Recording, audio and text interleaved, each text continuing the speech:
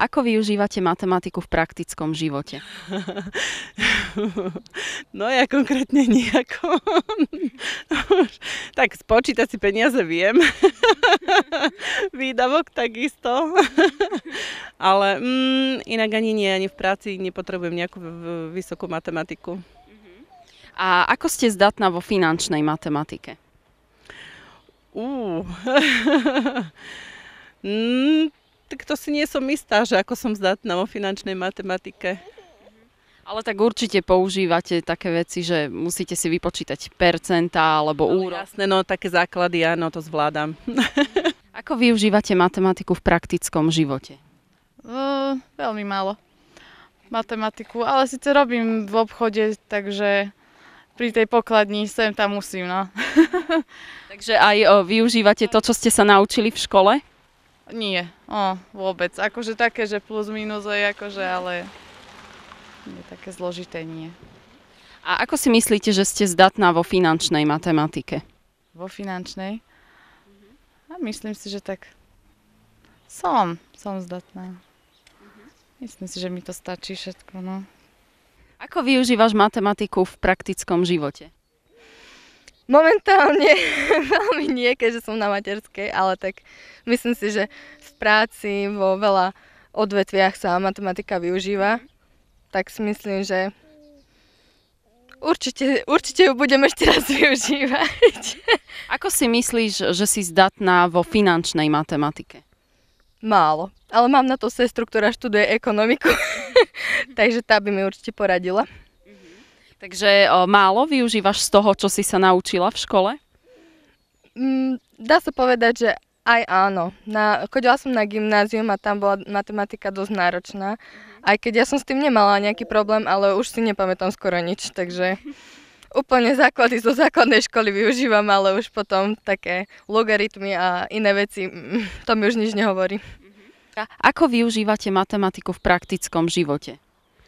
No, veľmi ju nevyužívam, lebo nemôžem takto, ja už zabúdam, viete, ale predtým som ju využíval veľmi. Ja som mal rád matematiku, no. A hlavne mám spev rád. Šláger počúvam, to je moje. No, iné, no. No a z tej matematiky ste čo využívali najviac? No tak, násobilku, delenia to mi nešlo ani za svet, len naša sobilka spočítať, očítať, to, to mi išlo, ale to delenia, to sa nedať Boh nevedel. No to sa vám priznám, nevedel som. no, tak.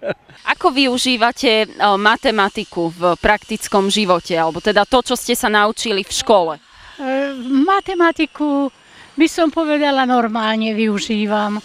Myslíte akože peniaze, alebo... No tak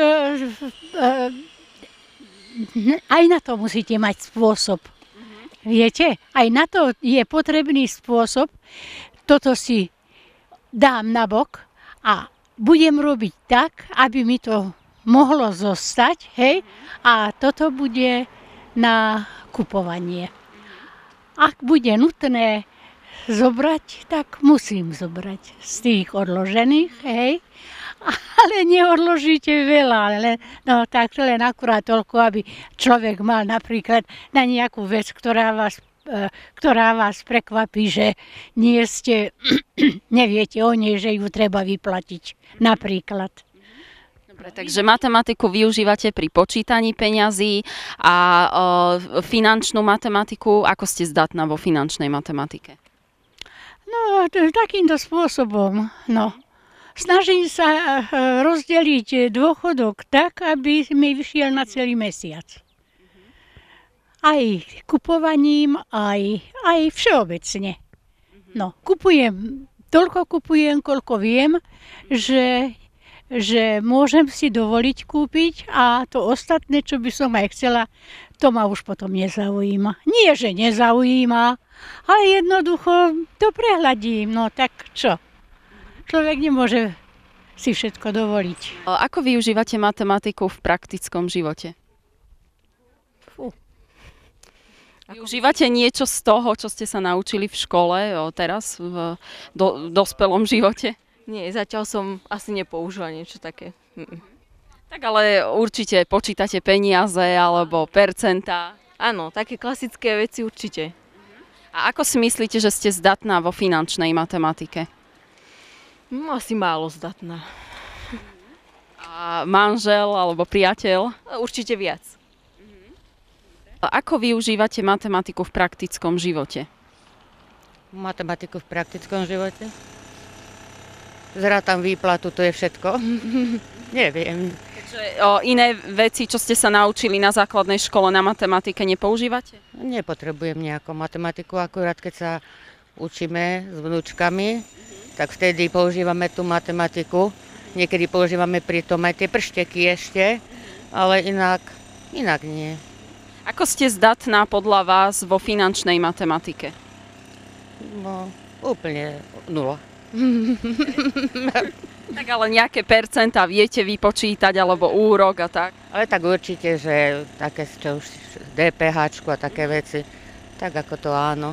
Ale že nemusím to, nerobím to, nepotrebujem to, takže, takže tak.